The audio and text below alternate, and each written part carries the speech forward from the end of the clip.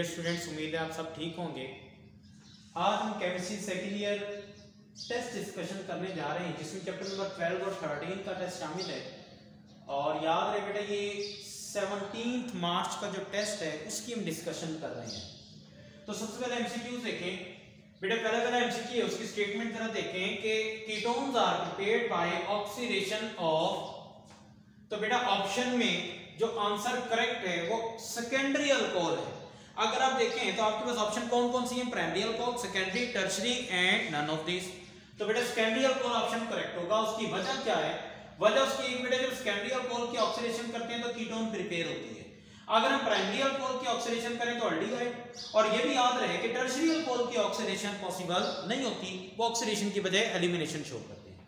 Third second MCQ पर चलते हैं। Acetone reacts with hydrogen cyanide to form a cyanide it is an example of तो इसमें जो ऑप्शन करेक्ट है बेटा चार्ली ऑप्शन करेक्ट है न्यूक्लियोफिलिक एडिशन रिएक्शन बेटा, उसकी वजह क्या है?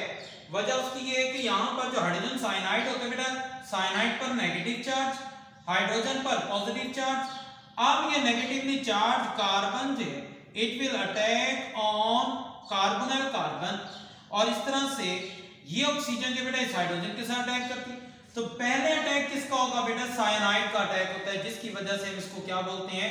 न्यूक्लियोफिलिक एडिशन रिएक्शन न्यूक्लियोफाइल तो साइनाइड की वजह से एडिशन रिएक्शन कैसे हो गया? बेटा, ये यहाँ से ये डबल बॉन्ड ब्रेक होकर किसमें कन्वर्ट हो गया बेटा? सिंगल बॉन्ड किसमें किस कन्वर्ट हो जी? सिंगल बॉन्ड में कन्वर्ट हो गया तो इसका मतलब ये हुआ कि यहाँ पर डबल बॉन्ड से जब सिंगल बॉन्ड बना तो एडिशन रिएक्शन हो गया। और कौन सा एडिशन रिएक्शन है बेटा? न्यूक्लियोफिलिक एडिशन रिएक्शन है, क्योंकि न्यूक्लियोफाइल ने जाकर कार्बन कार्बन पर अटैक किया। थर्ड एमसीक्यू देखें। Which of the following will not give iodoform test तो बेटा, याद रखो आयोडोफॉर्म टेस्ट में कौन कौन से यहाँ पर ऑप्शंस दिए गए हैं? थर्ड एमसीक्यू में acetaldehyde acetone butanone and three pentanone तो बेटा याद रहे एसिटल्डिहाइड अल्डिहाइड में से एडोफॉर्म टेस्ट देती है, जबकि एसीटोन भी देती है ब्यूटानोन भी देगी। थ्री पेंटानोन नहीं देगी बिकॉज़ थ्री पेंटानोन क्या होता है बेटा?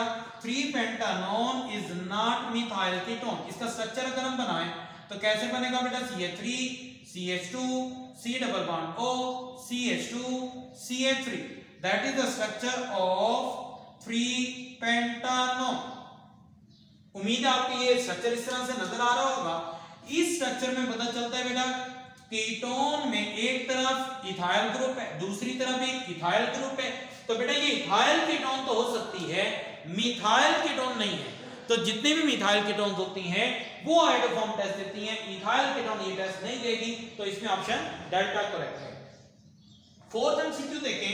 Which of the following will react with Tollens reagent तो बेटा टॉलरेंस रिएजेंट के साथ अल्डिहाइड रिएक्ट करते हैं। तो जरा यहाँ पर जो ऑप्शन में दिया गया है ऑप्शन अल्फ़ा है ये एसिड अल्डिहाइड बीटा है कीटोन है। कीटोन कौन सी बेटा? एसीटोन दी गई है। और चार्ली में बेटा यहाँ पर दिया गया आपको कार्बोक्सिलिक एसिड यानी एसिटिक एसिड और डेल्टा में आपको यहाँ पर क्या दिया हुआ बेटा? ब्यूटानॉन दी गई है। तो बेटा कीटोन कार्बोक्सिलिक एसिड ये रिएक्शन नहीं करती, जबकि अल्डिहाइड इस रिएक्शन करती है। वजह उसकी ये है कि ये जो आपके पास बेटा टॉलरेंस रिएजेंट होते हैं they are mild oxidising agent क्या है बेटा ये?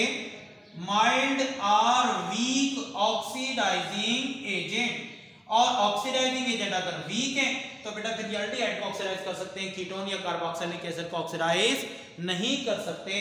तो यहाँ पर ऑप्शन जो एमसीक्यू नंबर 4 है, उसका ऑप्शन अल्फ़ा करेक्ट है। एल्डिहाइड का रिएक्शन हो सकता है कीटोन या कार्बोक्सिलिक एसिड का रिएक्शन नहीं हो सकता। क्वेश्चन नंबर 5 पर आ जाए बेटा। Cannizzaro reaction is not given by acetaldehyde बेटा एसिटल्डिहाइड में क्या मौजूद होते हैं? एसिटल्डिहाइड का अगर हम स्ट्रक्चर देखते हैं तो उसमें क्या होता है बेटा? CH3 C double bond OH बेटा, ये CH3 जो है इट इज़ अल्फ़ा कार्बन और इस अल्फ़ा कार्बन पर हाइड्रोजन मौजूद है। तो अल्फ़ा अल्फ़ा कार्बन पर हाइड्रोजन मौजूद होने की वजह से अब एसिडल्डिहाइड कैनिजरो रिएक्शन नहीं देगी, बल्कि इसकी बजाय जो आयोडोफॉर्म टेस्ट होगा सॉरी जो हेलोफॉर्म रिएक्शन की बजाय, यहाँ पर ये क्या आएगा बेटा? जो टेस्ट होता है कौन सा देती है बेटा? अल्डोल कंडेंसेशन रिएक्शन तो एसिडल्डिहाइड दे सकती है, जबकि कैनिजारो रिएक्शन ये नहीं देती। तो ये क्वेश्चन नंबर 5 का आंसर बीटा करेक्ट है। क्वेश्चन नंबर 6 देखें। Which of the following will react with aldehyde and ketone तो जनाब अल्डिहाइड कीटोन में से कौन रिएक्ट करेगा बेटा? ग्रेनार्ड रिएजेंट रिएक्ट कर सकता है। इसका ऑप्शन अल्फ़ा करेक्ट है। बेटा देखें, बात ये है कि कैनिजारो रिएक्शन में यहाँ पर ऑप्शन जो है वो अल्फ़ा लिखा हुआ है। इसमें आप इसको लिखोगे which of the following will not react with aldehyde and ketone 6 MCQ पढ़ रहे हैं। 6 MCQ which of the following reagent will react with both aldehyde and ketone तो ऑप्शन अल्फ़ा करेक्ट है। ग्रीना रिएजेंट बेटा ग्रीना रिएजेंट के अलावा जो बाकी ऑप्शंस है, उनमें देखें टोलन रिएजेंट है फैलिंग रिएजेंट है बेनेडिक रिएजेंट है। बेटा ये तीनों अल्डिहाइड से तो रिएक्शन करते हैं कीटोन से रिएक्शन नहीं करते। तो लिहाजा हमने यहाँ पर लिख दिया कि rest of the options react with only aldehyde तो बेनेडिक फैलिंग और इसी तरह से टॉलेंट ये तीनों किससे रिएक्शन करते हैं? अल्डिहाइड से कीटोन से नहीं करते। जबकि green reagent is the only option जो कि अल्डिहाइड से भी रिएक्शन करती है और कीटोन से भी रिएक्शन करती है। सेवंथ एमसीक्यू की तरफ़ चले।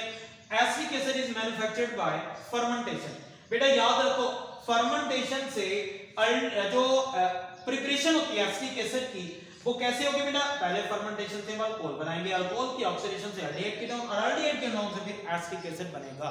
तो इसका मतलब है, अगर ऑप्शन में ऑक्सीडेशन दिया गया तो आपने ऑक्सीडेशन को टिक करना और अगर ऑक्सीडेशन नहीं है तो फिर fermentation is the best option best answer जो होगा, फिर फर्मेंटेशन का होगा। इंडस्ट्री में जो है हम इसको किस तरह से तैयार करते हैं बेटा? फर्मेंटेशन के ज़रिए से एसिडिक एसिड को तैयार किया जाता है।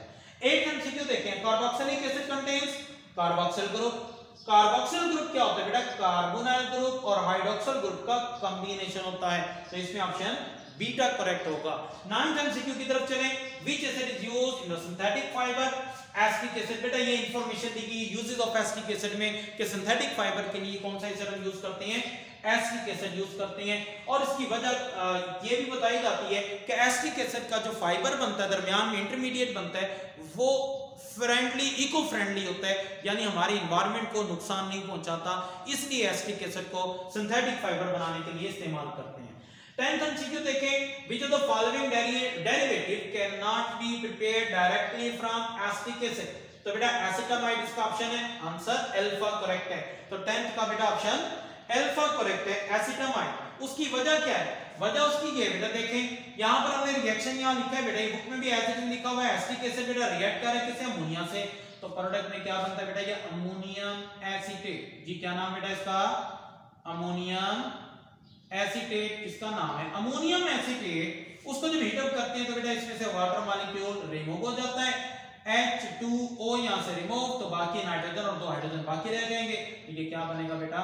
एसिटामाइड एसिटामाइड भी बोल देते हैं इसको। और चूँकि एसिडिक के ज़रिए बना हुआ है, इसलिए इसको एसिटामाइड बोलते हैं। तो इसका मतलब है दो स्टेप में ये रिएक्शन कंप्लीट होता है। अमोनियम एसिड बनने के बाद रिएक्शन रुक जाता है। अब उसको हम हीट अप करेंगे तो फिर एसिटामाइड बनेगा। इसका मतलब है एसिडिक एसिड और अमोनिया का रिएक्शन करवाएँ तो डायरेक्ट एसिटामाइड नहीं बनती, बल्कि दरमियान में इसको क्या करना पड़ता है? हीट अप करना पड़ता है, फिर जाकर एसिटामाइड बनती है। तो ये 10th 10th एमसीक्यू का आंसर जो है बेटा एसिटामाइड करेक्ट है। 11th एमसीक्यू देखें। यहाँ पर लिखा हुआ है which reason is used to reduce the carboxylic group to alcohol तो बेटा इसमें ऑप्शन देखें। अल्फ़ा ऑप्शन है 11th में हाइड्रोजन है निकल हाइड्रोजन है प्लैटिनम सोडियम बोरोहाइड्राइड और लिथियम एल्यूमिनियम हाइड्राइड बेटा lithium aluminium hydride specific for partial reduction of carboxyl functional group ये कार्बोक्सिल फंक्शनल ग्रुप की पार्शियल रिडक्शन के लिए लिथियम एल्यूमिनियम हाइड्राइड इस्तेमाल होता है।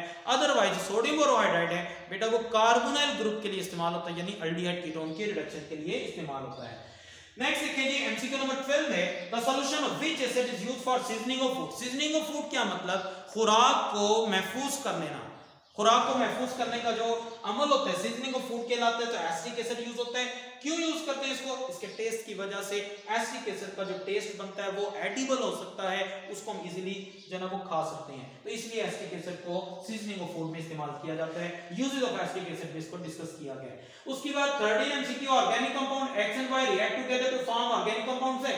अब वो कहता है कि कौन सा एसिड या कौन सा पेयर इसमें करेक्ट हो सकते हैं? तो डेल्टा ऑप्शन करेक्ट है। क्यों? क्योंकि अल्कोहल और एसिड रिएक्शन करने पर एस्टर बनाती हैं। ये बात हम पहले पढ़ चुके हैं।